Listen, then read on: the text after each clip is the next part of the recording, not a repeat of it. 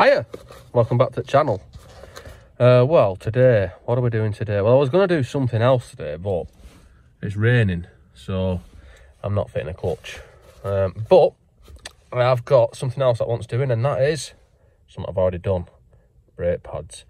Now, I threw some brake pads in this probably about oh, fucking ages ago, and they're squeaking a little bit, um, and it is it's borderline irritating. So, what I'm going to do is I'm going to change the brake pads. But the brake discs are a bit worn. They've got lips on them, but I'm not going to change the brake discs. I'm going to experiment in a different way of resolving that issue. So let's let's see how that goes. And for this method of um, what we're going to do, these are some of the tools that we're going to need. We're going to have to jack the shitter up um, using a jack and then we're going to have to stabilise the shitter using some axle stands, sorry, jack stands. So put them underneath the vehicle and make it nice and solid. Um, first, jack the vehicle up in the designated jacking position, which is somewhere around there. Somewhere around there. Yeah. It needs to be high enough to get that underneath to there, which it's not yet. as you can see that is nice and solidly positioned on the edge of that jack. And now we can put our axle stand in a location under the vehicle which is not high enough to go under. Somewhere around there. Like so. And then we just slowly let the jack down nice and gently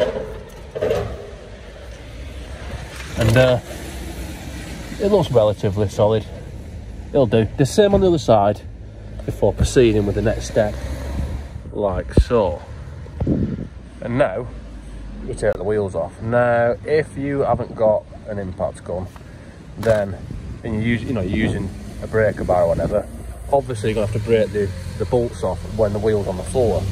But fortunately, I do have an impact gun and I don't have to fuck about in that sort of manner.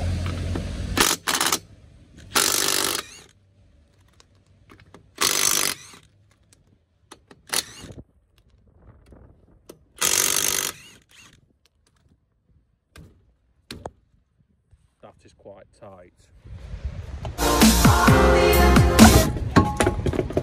Right, so now we've got our wheels off on both sides. Now, I'm only showing you one side, but at the same time as doing one side, I'm doing the, the other side.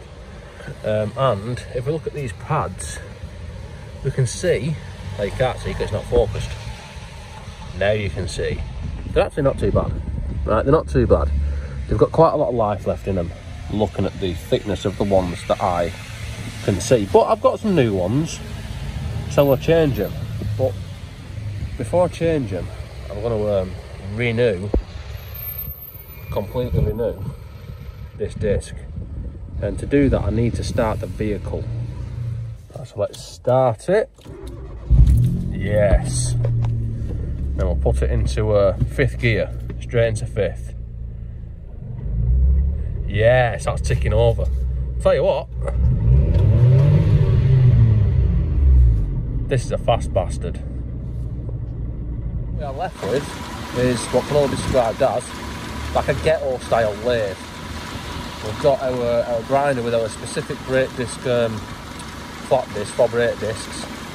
And then when we get them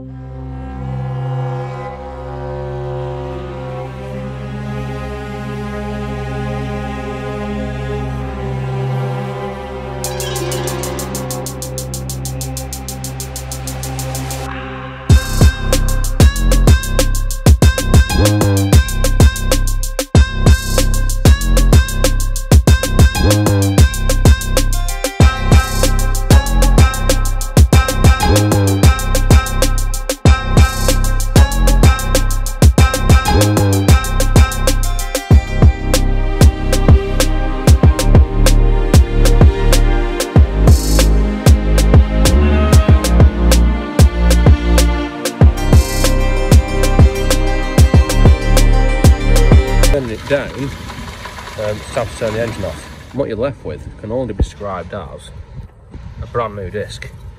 Uh, I mean, feeling this here, the lips, the disc wasn't actually as as what I thought it was going to be. It was actually not too bad. It's just a bit rusty. Um, where the lip, where the pad misses. So, I mean, this is a complete waste of time. But I've taken that lip off and it feels quite smooth. So, I'm going to do the same on the other side. In fact, first I'll change these pads on this side and finish this side off because I'm going to film this side. It's going to go dark. And I'll do the same on the other side. And I'll drive it and feel probably horrendous pedal, but we'll see. Uh, anyway, I need, uh, I think it's a 12 milli, some shit, um, and some cleaning apparatus, which I've now acquired. So this one's a 12, that one's a 13, because it's been changed at some point, and it changed to a 13, but it don't really matter. Undo this one. Take this off. Before I do that though, let's send the uh, piston back nice and gently. Ideally, right, I should tell you to either, well, really I should tell you to open a bleed nipple so that the fluid can come this way rather than going up. It can damage master cylinders, I've never had it do it. Um, and at best you should really open the bonnet and open the lid, which as you can see I've not done that either. Uh, but that's nice and returned now.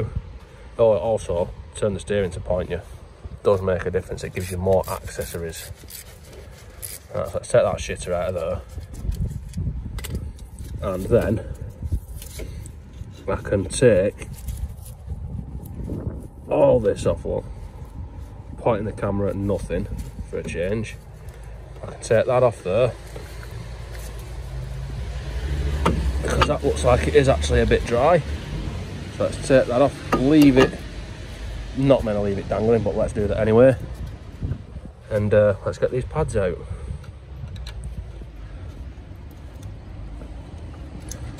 Yes. You can see where they've been against the lip.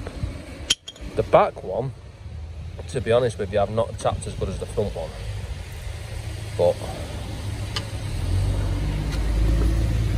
don't see the back one do I right so now I need to take all this off give it a good wank off and a clean by the way, these squeal shims, there's two different types of them. So you've got like the two two-handed is left and right-handed. So like that one and that one are the same. That one and that one are the same, just in case you try and put me wrong. Uh, these want taken out as well because they're going to want greasing. But let's let's clean it first. For which I'm going to use a screwdriver, a wire brush, and hope and wishes because this is an important bit. You see this bit here where I'm cleaning this here now? I don't know if I've mentioned this in any of the other videos I've done on brakes, but this, if there's, if there's corrosion built up on this part, the pad sits opposites in them, so there's corrosion built up on it, it'll grab the pad and then you end up with sticking brakes. And the squeal, the squeal shim, the slide to the pad goes front of that. So I'm going to dig that out with a screwdriver first. I'll do it with all of them. So if it's something like that, and then I'm going to get a wire brush, just give it a quick toss off with a wire brush. All over. Inside the as well, the back of that. So there. Do all that as well. But I need two hands. Fuck it, that'll do. And then we need to do the same with them. Like so. Now, if yours are like this and they're a bit of a shitter, and they're not shiny, you're probably better off getting new ones if you can, because the pads are meant to slide against this, which is why they made it like a hard, shiny sort of stainless steel as such, or whatever the fuck they're made out of. Um, if they're not shiny, then they could cause issues. I haven't got new ones and I'm too tight to buy them, I can't bother waiting for them. But if you have got the option for putting new ones in, if they are a bit like this, you are going to be better. Like I said, it's not necess you know, it's not a necessity to do, but it would probably benefit from it. So that one, see there it's handed, won't go in there, so it goes in that one, like so. And then that one is the opposite way around. It goes like so. And then the other two at the top, the same. Like that. So now we've got our pads, these are the new ones. Uh, we need to put some copper, you know, bit of copper dick on them. So on the back and around the ears of the pads, which is a bit sort of like where it's lubricated. Don't want to put loads on like I said, the argument whether to put any on at all is a long-running argument among mechanics. Uh, we'll never be, we'll never be over with that. Uh, I put some on, so I'm going to put some on. So anyway, I'll put a bit of that on and I'll put the shitter in, like that.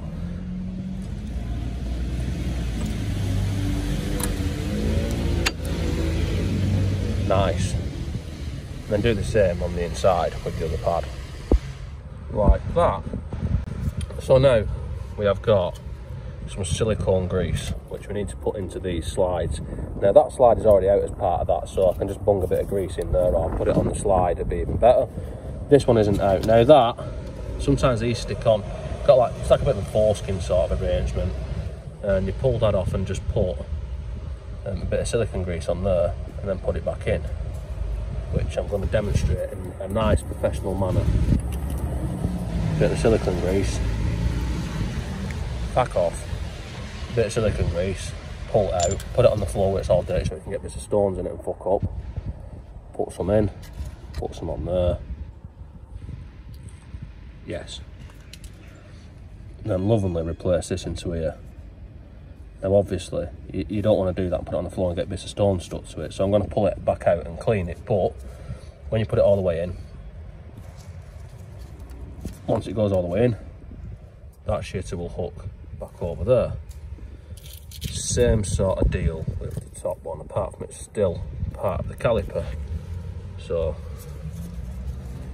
this is a bit of a waste of time, sort of teaching her to suck eggs in putting a bit of silicone on a pin. And uh,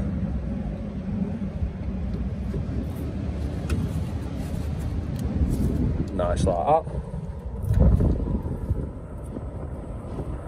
And it just goes together the way it come apart. Some pads you will get new bolts with, hence why this one is a different size to that one because this is a 12 mil and it's not going in. But it will. Alright, so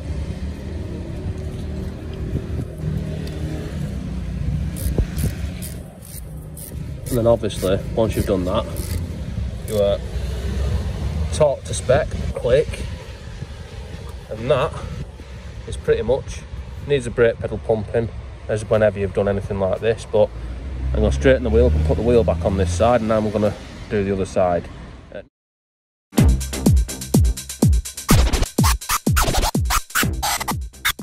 I'ma make you pump like that.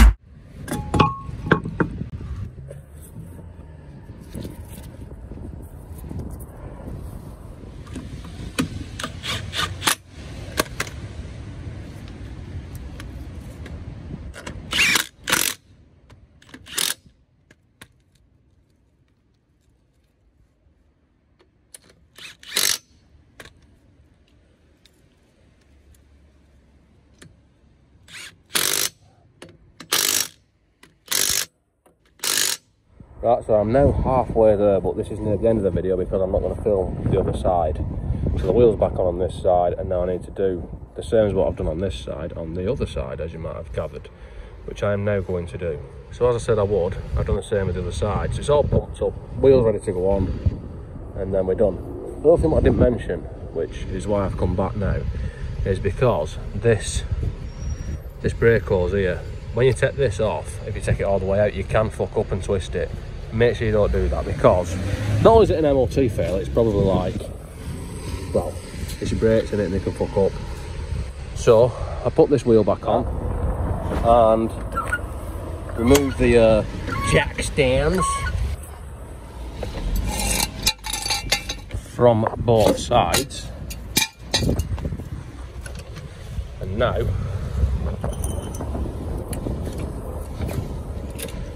the car is back on tarmac. And I can torque up the wheel nuts. Or oh, wheel bolts in this case. Oh sorry. Lug nuts. For American viewers which I think is none. Look at this torqued up to perfection. Yeah they're tight. Let's check the other side. Which to be honest with you are probably too tight if there's a such thing. But I'm not undoing them to do it again so let's drive the shagger and see if it stopped our squeak, which I didn't demonstrate before I took it apart, so you just have to take the word for it. Right, and as for the all-important test, so let's go and drive it. Um, what I need to check for is I need to check that the pedal isn't pulsating under my foot like a throbbing penis. Um, you know, if I've made it so it's wonky or anything, you know, warped with a grinder. So I need to check for that first. And then the reason why I've been fucking about with it in the first place is because Not when using the brake. When using the brake, funnily enough, it used to sort of shut it up. But when driving, I used to get a high pitched, fuck off. I used to get a high pitched squeaking, um, you know, over about sort of 20 mile an hour, um, which, like I said, it was a little bit irritating. So let's go and see what we are left with. So, so far, so good. Um, we haven't got any um, any squeaking yet. And let's see if the brakes actually work. Yeah, it's nice and smooth. And it seems so far successful. And it even stops nice and straight. Um, just to uh, just to point out as well, whenever you change brake pads or anything like that, they will need bedding in. So your brakes will need to bed in to become to full efficiency and effect. But these are actually working quite well. And as for a conclusion, that seems to have gone pretty well. The brakes are actually nicer than they have been from what I can remember this car ever been. They're pretty smooth and they work and they're not even bedded in yet. Um, but mainly the, um, the, the squeak's gone um, and it, it's working as it should be. Uh, so that is pretty much it for this video. Um, I haven't forgotten about the ones that I've got to do like second parts of like the rusty seal. I need to do some some paint work on that. I've not forgot about it. I've just not. It's been raining constantly, um, and the same with the the decat, which has got other things to go with it. Same deal. It's been too bad weather and the clutch is slipping. Um, but they are you know, on, on the list of things to do. So I've not forgotten about them. Uh, anyway, that is that's it for this one. Don't forget to like, comment and subscribe. And I'll see you next time.